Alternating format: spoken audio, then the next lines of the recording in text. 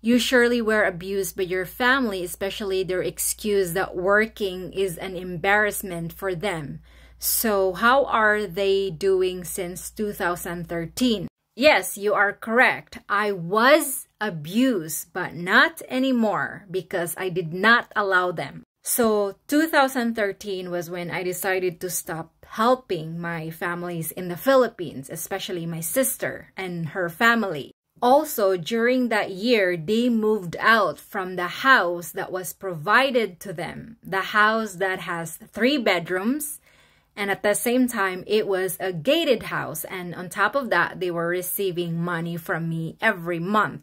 Now they are living in a place where it's kind of basement is not gated anymore. So they are basically living with um, or neighbors with a lot of people. Whereas before they were kind of separated from the neighbor because again, they have their own house. And as far as I know, they are struggling. Well, obviously they are working now or had to find a way to survive you see, these people can work. They're not lazy. However, they were choosing to be lazy. So yeah, as far as I know, they are struggling. And as far as I know, they are always thinking poorly and still choosing to think poorly or behave poorly as you call it. So, you know, they say if you were born poor, it's not your fault. However, if you are choosing to be poor until you die,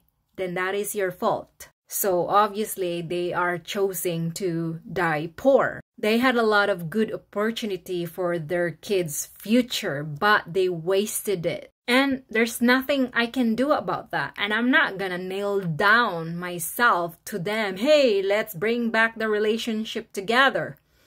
No, I I'm done. I'm just done.